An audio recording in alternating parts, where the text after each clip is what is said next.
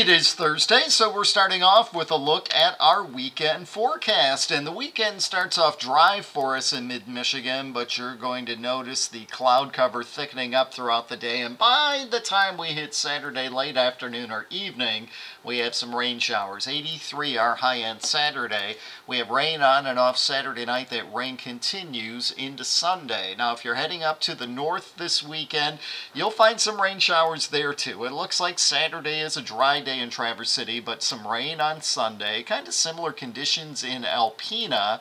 Temperatures topping out in the 70s Saturday in the Soo. Some rain in 68 on Sunday and highs in the 60s this weekend in Marquette. Almost a little early taste of fall there.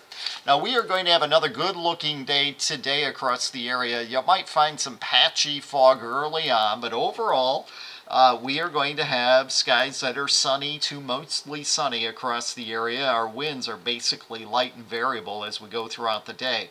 Tonight we are clear. We drop back into the 50s once again tonight, and we see plenty of sunshine on Friday as well. Good weather for the high school football games Friday evening. We're talking temperatures at game time that should be in the mid to upper 70s. Our forecast for today, we are mostly sunny, a high near 80 degrees. Tonight, mostly clear, dropping back down to around 56.